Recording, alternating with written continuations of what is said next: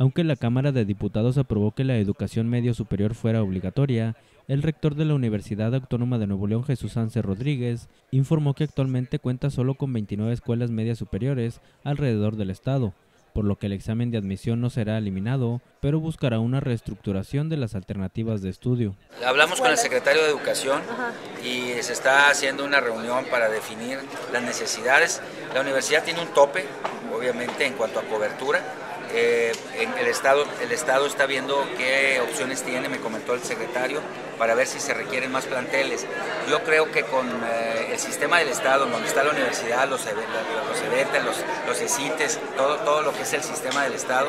yo creo que se puede dar cobertura, nada más que hay que hacer una reestructuración para que podamos tener esta educación completa. No, Tendría que haber concurso de ingreso para entrar a la universidad, hay un puntaje que se requiere, se requieren 240 puntos de 600 posibles, mínimo para entrar a la universidad, pero estaremos trabajando coordinadamente con la Secretaría para implementarlo mejor y sobre todo para que se dé. Acuérdense que este es un proyecto que tiene, que tiene 10 años,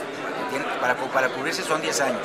pero el Estado va a hacer un esfuerzo, me comentó el señor secretario y el gobernador, para que podamos en corto tiempo obtener una cobertura total de la educación media superior.